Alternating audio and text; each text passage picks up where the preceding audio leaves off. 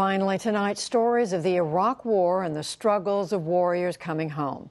They're told in a collection titled Redeployment, which last week was given the National Book Award for Fiction. It is the first book by its author, Phil Klay, who served as a Marine in Iraq. Jeffrey Brown talked with him this weekend at the Miami Book Fair. Phil Klay, uh, hello and congratulations to you. Thank you so much. Did, did you know that you would write while you were serving in Iraq? Well, I always wrote. Um, not about war necessarily, mm-hmm. but uh, I always wrote stories. I, I, tried to write while I was in Iraq. It's not really, I didn't do a very good job, and not about war. But when I came back uh, from overseas, a couple months after, I started. I wrote. I started writing the first story in the book.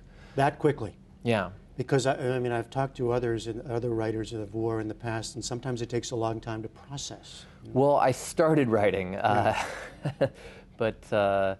It took me about four, a little bit longer than four years to yeah. finish the book. And, and that, that first story that I started writing, uh, I went through about 15 or 20 different versions yeah. before uh, it ended up in its final state. What were you trying to convey? What, what did you want to convey of the, of the experience of, of war? Well, there was no one thing, and part of it was, I mean, everybody has such a small piece of the war, mm-hmm. right? Mm-hmm. Um, you know, I, I, I, have two friends named Matt. Mm-hmm. Uh, they were both uh, scouts and cavalry. They both served in the same section of Iraq. They both worked with the same Iraqi translator. And yet, if you talk to them, I mean, their stories couldn't be more different because one was there in 2006, one was there in 2008. Yeah, and made all the difference, right? Right. And yeah. if that's true for them, how true is that for a mm-hmm. chaplain, for mm-hmm. a, a, mortuary affairs mm-hmm. specialist, mm-hmm. uh, for an infantryman or an adjutant? Mm-hmm. Uh, and I wanted to kind of get at that difference, and the, the, not just the different ways that people experience war, um, but also the, the ways that they experience America when they come home there's the language of the military, right? right? And, yeah. and, that the soldiers use, and Definitely. so it's it's a, something to use, I guess, and play with as well. Well, yeah, there's a there's a very particular way that the military speaks. There's a lot of profanity, a lot of acronyms. Yeah. So yeah. you know, my mother. Uh, she read the book. She said, I liked it very much. You used a lot of words you weren't allowed to use growing up. Uh-huh, so, uh-huh, yeah. uh-huh. It's the Marine Corps. Yeah. Um, but you know, trying to get the rhythms of the speech and the way that people interpret that experience. Yeah. Um, and you know, with the with the profanity, there's there's a thing where you got an 18 or 19 year old person who's seeing a lot of the things that happen in war, which are obscene. Yeah. The language that they're going to use to try and describe that is is going to match it.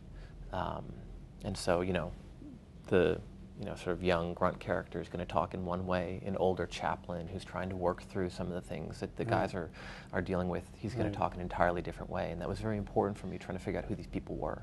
You know, one of the things that comes through is, um, on the one hand, a, a, kind of cluelessness sometimes mm-hmm. from uh, uh, somebody. You know, you don't know what's going on. You know, what right. are you doing here?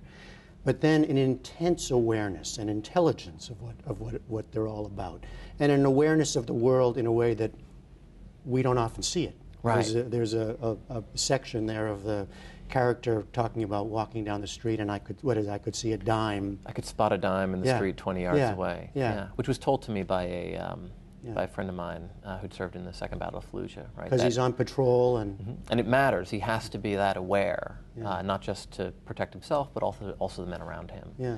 Um, and then he, you know, he carries that state with him uh, when he comes back home, you know, immediately after he comes back home. Yeah. And so much of the stories become about coming back home and uh, right. some of the difficulties of that. Was it was that hard for you?